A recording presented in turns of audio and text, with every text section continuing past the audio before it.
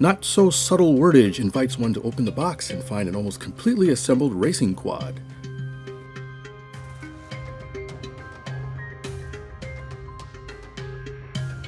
The first thing that catches my eye is the helicopter-like landing skids bracketing the twin Velcro battery straps.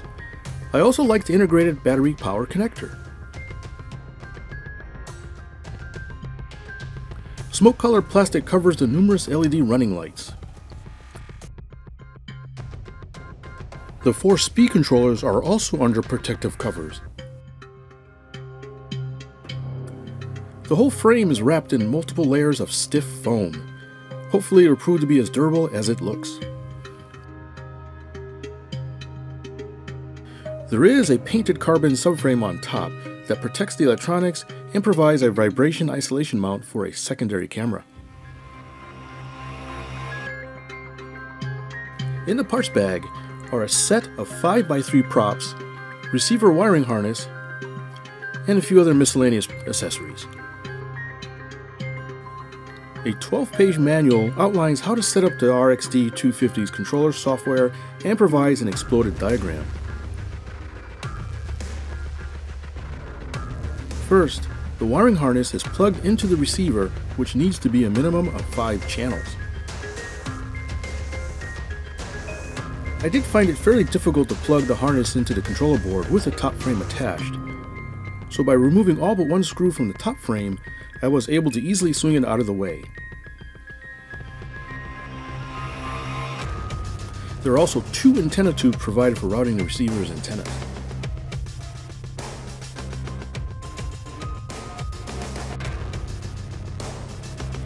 The RXD250 CC 3D controller must be configured to your transmitter by following the outlined steps. First install the Libre Pilot software by clicking on the download link for your computer's operating system.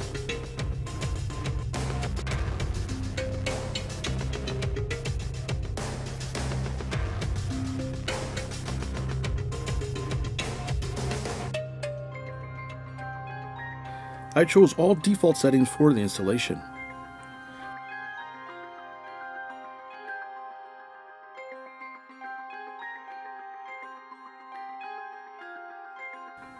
Be sure to install the COM drivers as well.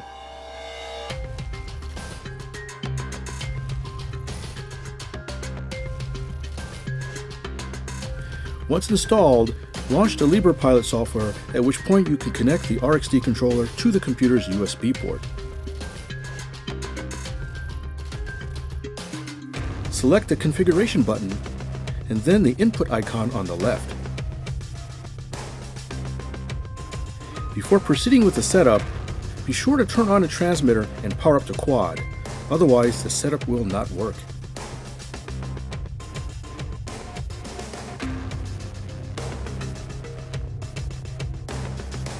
Then start the setup wizard and simply follow the on-screen instructions.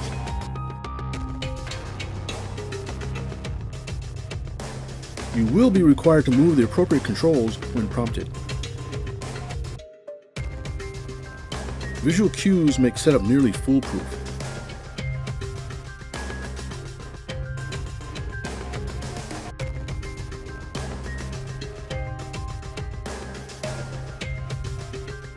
Don't forget to set up the monitor output channels as suggested and pick an arming sequence to your liking.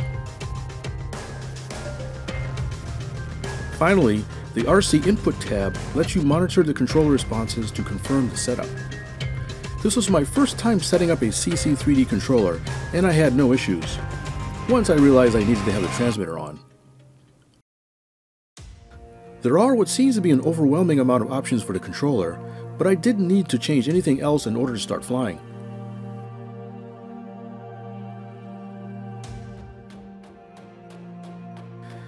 For the FPV camera, I use Rise's own 120 degree field of view 600 TVL CMOS camera.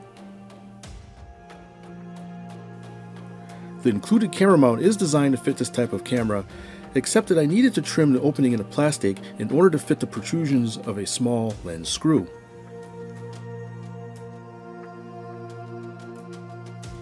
Two screws are included to keep the camera in place. The camera mount keys into place quite nicely between the frame and the body. In the rear, there is a JST power connector lead and a nice open space for the video transmitter. Lastly, attach the props, making sure the rotation is correct and we are ready to go.